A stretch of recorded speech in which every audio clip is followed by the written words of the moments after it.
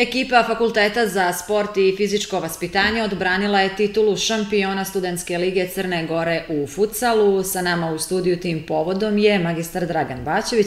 Dobro jutro, dobrodošli. Čestitamo na ovom uspjehu. Dobro jutro, hvala vam na pozivu ovaj, i pozdrav za vaše gledalce. Pa evo na ovom važnom studentskom takmičenju još jednom ste, e, možemo reći, pokazali kvalitet i taj e, takmičarski duh.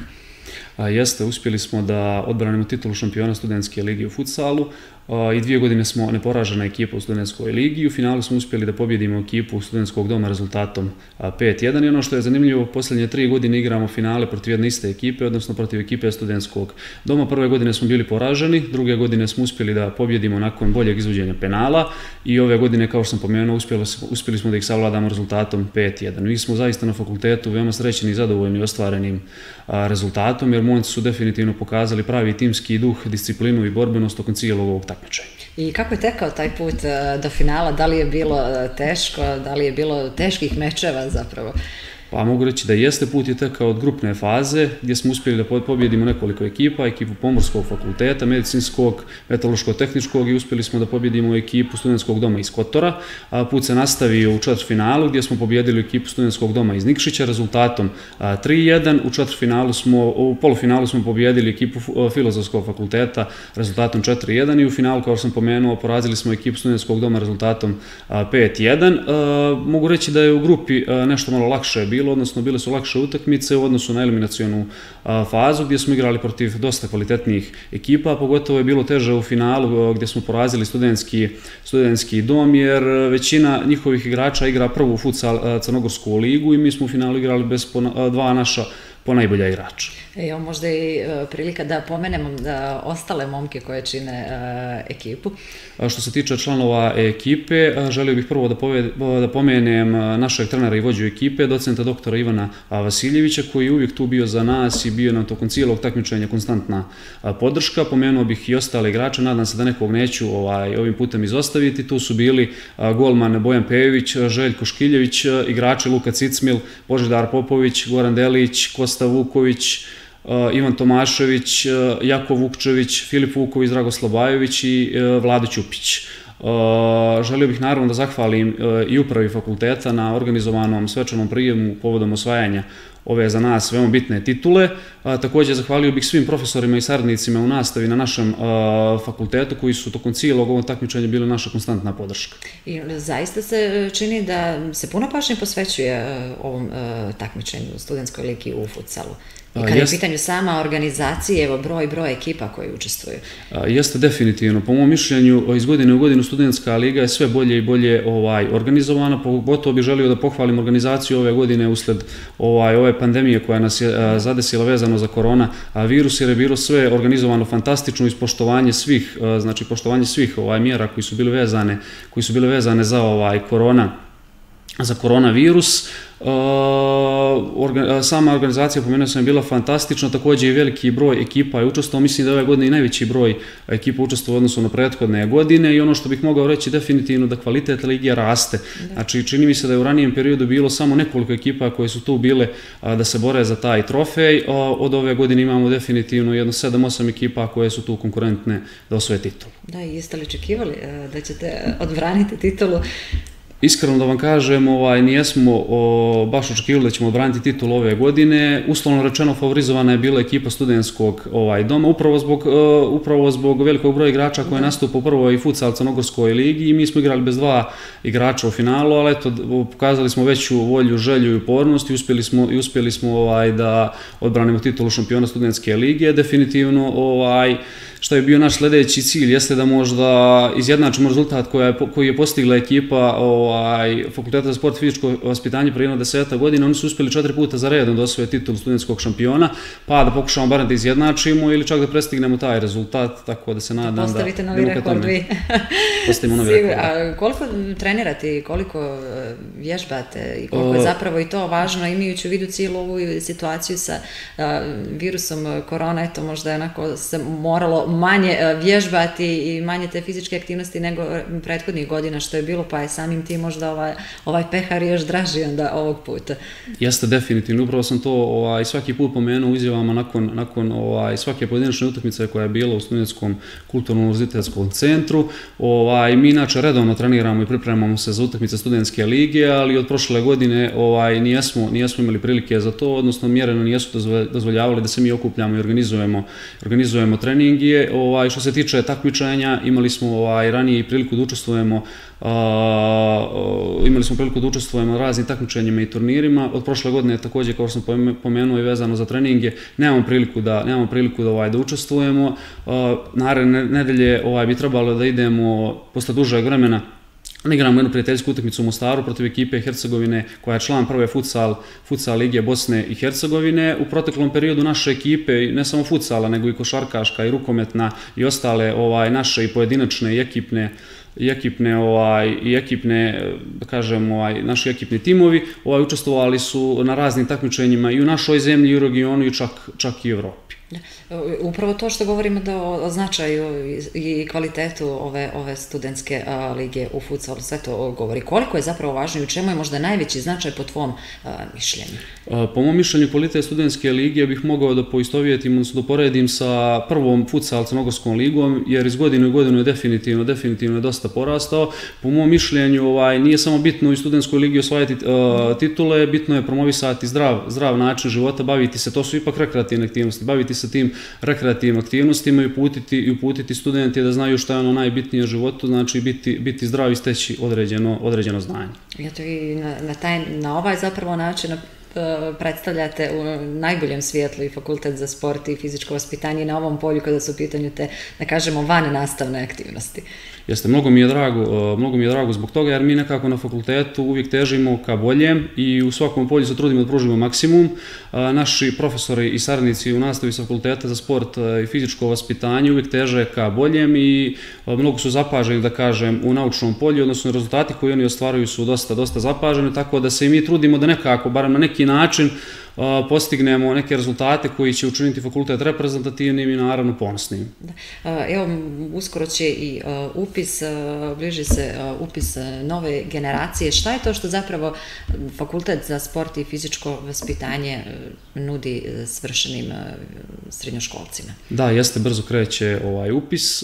Mi ove godine na dva studijska programa, fizička kultura i zdravi stilovi života i sportski novinari i treneri upisujemo po 60 kandidata. Na oba, na oba ova studijska programa, postoje prijemni ispiti, na ovom prvom fizička kultura i zdravi stilovi života, on je praktičnog e, tipa i podrazumijeva polaganje znanja iz plivanja, atletike, poligona svestranosti, e, sportskih igara takođe. Ovaj drugi e, studijski program, sportski novinari i treneri, podrazumijeva polaganje prijemnog ispita teorijskog tipa, odnosno određenog testa koji, koji ovaj, studenti polažu, da kažem, više neka znanja iz opšteg, iz opšteg obrazovanja. Naravno, naravno, studenti mogu da pronađu sve informacije na na našem sajtu vezano za, na sajtu Fakulteta za sport i fizičko vaspitanje vezano za upis i za polaganje prijemnog ispita. Da, no što je ključno jeste da uh, možda negdje i po čemu je specifičan fakultet za sport i fizičko vaspitanje, uh, da je negdje ustrži upravo i ta praksa i te vježbe negdje gdje studenti mogu i to teorijsko znanje da primjene u praksi zapravo da ga usavrše.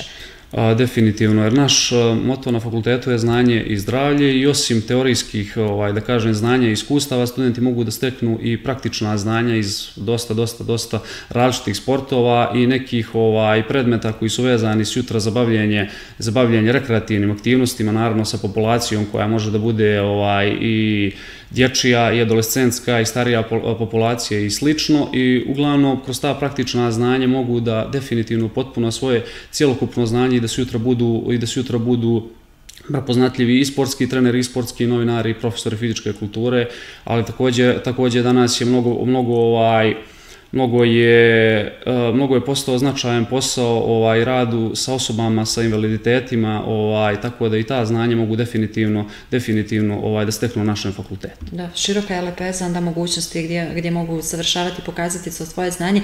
A šta je tebe motivisalo da upišeš fakultet za sport i fizičko vaspitanje? To možda bi to bilo neka lijepa poruka i za kraj svim uh, budućim uh, brucušima. Zašto zapravo eto da se opredijele za ovaj fakultet? A, ja sam se dugo godina bavio ovaj, futbalom i nekako me to ovaj, više povuklo da upišem fakultet za sport i fizičko vaspitanje i nekako sam imao, da kažem, ograničeno a, znanje što se tiče toga. Poznavao sam samo ovaj oblast futbala i to neka, da kažem, dosta uža znanje, to tek sada vidim. Na fakultetu za sport i fizičko vaspitanje sam mnogo šire otišao, istekao sam znanja iz različitih sportova, stekao sam znanja a vezana za sportski trening, stekao sam znanja vezana za rad sa djecom, ovaj, vezana za rad sa djecom u školi mnogo, mnogo, mnogo, mnogo šire. Znači, ne nauči se samo jedna oblast, već se, već se posmatraju, već se posmatra svaki sport kao zaseban i svaka moguća i svaka moguća ovaj i svaka moguća da da kažem ovaj znanje iz ostalih oblasti sa drugačije, drugačije se posmatraju i nekako sklopimo jednu širu sliku cjelokupno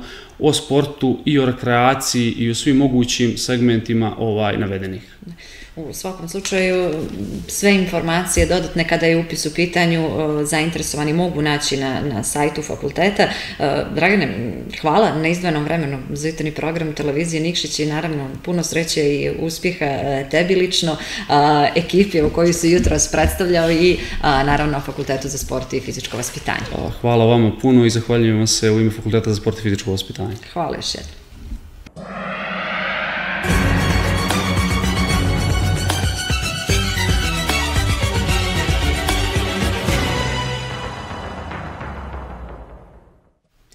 U susret obilježavanju u danu borbe protiv euromelanoma 20. maja u goste smo pozvali doktora medicinskih nauka, specijalistu dermatovenerologije Anu Popović, nacionalnu koordinatorku euromelanoma kampanje u Crnoj Gori. Dobro jutro i dobrodošli. Hvala vam na pozivu, dobro jutro. Pa evo na početku razgovora da nam kažete na koji način će se obilježiti dan borbe protiv melanoma u Crnoj Gori i zapravo koji je cilj obilježavanja ovog dana? Eh, hvala vam na pitanju. Naime, eh, u, eh, znači ove godine tradicionalno Udruženje dermatovenerologa Crne Gore obilježit će Euromelanoma dan 20. maja, kada će se u svim državnim zdravstvenim ustanovama, odnosno u dermatovenerološkim ambulantama, kao i pojedinim privatnim zdravstvenim ustanovama, obavljati besplatni screening pregledi kože, odnosno pregledi bez uputa i prethodnog zakazivanja. I sve to naravno u cilju prevencije i e, podizanja javnosti, podizanja svijesti javnosti o raku kože.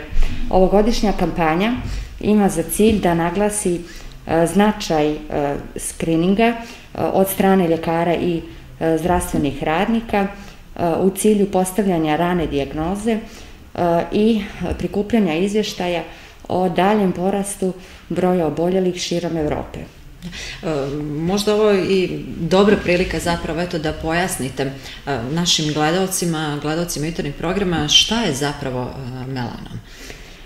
Melanom je maligni tumor koji se razvija iz pigmentnih ćelija melanocita, ćelija koje proizvode melanin, pigment koji koži daje boju, koji se mogu naći u koži, oku, epitelu sluznica i moždanih ovojnica. Naime, smatra se da razvoj melanoma započinje znači nekontrolisanim rastom i dijeljenjem genetski transformisanih melanocita. Pa da malo to približim našim gledalcima, prilikom izlaganja ultravioletnim zracima nastaju mikrooštećenja na ćelijskom nivou, i e, što postiče tad melanocite na proizvodnju melanina. I na taj način se, da kažem, pod znacima navoda, koža brani od daljeg neželjenog dejstva sunčevih zraka. Međutim, vremenom se ta oštećenja e, DNK u ćelijama kumuliraju, e, što posledično znači, dovodi do nastanka mutacija i nekontrolisanog rasta i dijeljenja melanocita. I kako zapravo da se e, prepozna e, melanom, da kažemo, od e, običnog biljega koje većina, većina ljudi i ima na tijelu? Pa da vam kažem, znači ne postoji tipična klinička slika melanoma. Vrlo je važno prilikom samo pregleda obratiti pažnju na oblik ivice, boju i veličinu mladeža. Znači, boja može varirati od tamno smeđe do plavo-crne boje. Melanom može biti e, u ravni kože ili ili može biti nepravilne uzdignute površine.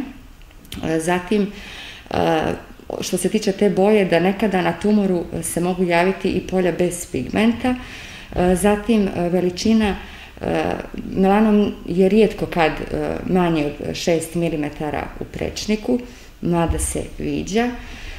Zatim nekada može doći do krvarenja, vlaženja, zatim tog subjektivnog osjećaja peckanja, svraba i bola.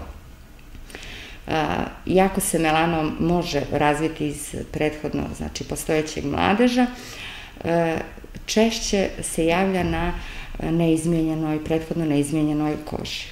I koji su tu faktori e, rizika zapravo koji uslovljavaju e, da može doći do promjena na koži, do pojave melanoma e, ili da kažemo da li postoje ta neka rizična grupa ljudi kod kojih upravo su da kažemo podložni ovo, ovom kožnom oboljenju? Pa, znači, u nastanku melanoma značajnu ulogu ima ta genetska predispozicija, i ti faktori spolješnje sredine, pa da pojasnim ovu genetsku predispoziciju, znači najme kod 5 do 10% oboljelih od melanoma e, je prethodno diagnostikovan melanom kod užeg člana porodice. E, češće se viđa e, kod osoba svijetlih očiju, svijetle kose, svjetlog tena ili riđe kose sa pjegama.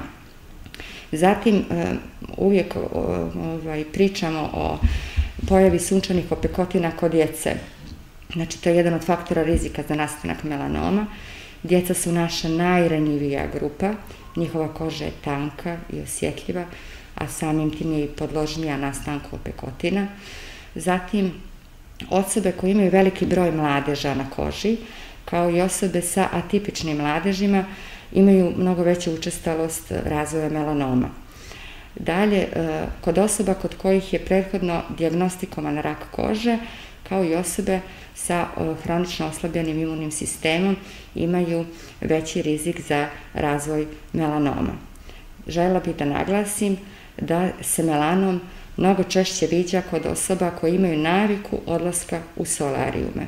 Pa je Međunarodna agencija za istraživanje raka kože e, došla do zaključka da osobe koje su e, se do 35. godine života izlagale solarijumu imaju e, za 75% veću mogućnost javljanja melanoma. Da. I šta vam govori dosadašnje na vaše iskustvo i rad e, sa pacijentima, koliko oni zapravo vode, vode računa, koliko vam se obraćaju i da li ste možda eto primijetili da je u porastu možda broj pacijenata koji se javlja sa ovim oboljenjem? Znači, pored velikog truda koje dermatovenerolozi svakodnevno ulažu u razvijenju svijesti o značaju i o štetnosti tih sunčevih zraka, rak kože danas e, ima jedno od naj, najbrže rastućih učestalosti. Naime, evo, sunčani dani su pred nama, a naši sugrađani se raduju da. boravku, dužem boravku na suncu, i ta preplanulost je još uvijek u trendu, odnosno na nju se pozitivno gleda, a mnogi nijesu upoznati sa činjenicom da je u stvari da je u stvari znači ta preplanulost znak oštećenja kože, to jest vremenom se štete vlakna kolagena i elastina u koži, i na taj način se ubrzava proces starenja, a i povećava rizik za razvoj raka kože. I kada bi se to trebalo zapravo javiti e, dermatologu? Kada, evo, po vašem, po vašem e, mišljenju, evo ovo što sam vas pitala, koliko građani vode zapravo i računa, koliko dolaze kod vas, tako koliko primijete to neke promjene e, na koži, pridržavaju li se tih vaših e, savjeta i preporuka? Pa, obzirom da evo već peta godina radim u, opštoj bolnici Nikšić, mogu da kažem da je to svakodnevnim i gostovanjem, svakodnevnim, svakodnevnom pričom i širenjem tih informacija i gostovanjima na televiziji. E, znači, mislim da naši građani počinju da dolaze na preglede, ove, mada ta ambulanta broji velik broj pregleda, Ovaj, tako da smatram da jedini je strah kod građana u stvari ta hiru, to hiruško ostranjivanje mladeža. Je postoji dalje neko vjerovanje da mladež ne treba, ne treba dirati, dirati da. jeste. A što se tiče pregleda, oni su redovni, oni dolaze i tu je dobra saradnja sa ljekarima iz opšte prakse, tako da pacijenti dolaze, ali eto to ovo što sam vam rekla, ne treba dirati mlade, što to, da. to je Ipak još ostaviti. jeste. A što se tiče kad, znači ja insistiram na tom samo pregledu kože, Ovaj, znači, samo pregled se obavlja... Šta podrazumijeva? Evo da im pojasnite Evo da šta bi zapravo samo znači pregled, da samo pregled. Znači, da se obavlja u dobro osvjetljenoj prostoriji, ispred ogledala, uh, uz korištenje, znači gdje se može vidjeti cijelo tijelo, uz korištenje ručnog ogledala i stolice, za pregled onih dijelova tijela koje nisu dostupne pogledu. Uh, pritom zatražite pomoć od bliskog člana od, od prijatelja, bliskih prijatelja ili užeg člana porodice da vam pomogne oko pregleda onih dijelova tijela koje nije moguće, koje niste u mogućnosti da pregledate sami. I ukoliko primijetite znači, promjenu koja se brzo mijenja i brzo raste, indikovano je, znači obavezno je doći na dermatološki, dermoskopski pregled u dermatovenerološku ambulantu. Da. I eh, kako se liječi melanom? Da li je zapravo izliječiv? Koliko traje taj, taj sami tretman, ta procedura ili to opet možda a, sve zavisi i od, i od tipa melanoma? Pa ovako da vam kažem, pa poznato je znači da se ćelije tumora a, eh, na samom početku oboljenja nalaze u površnim slojevima kože i se tad melanom prepozna, i hiruški odstrani, izlječiva je bolest.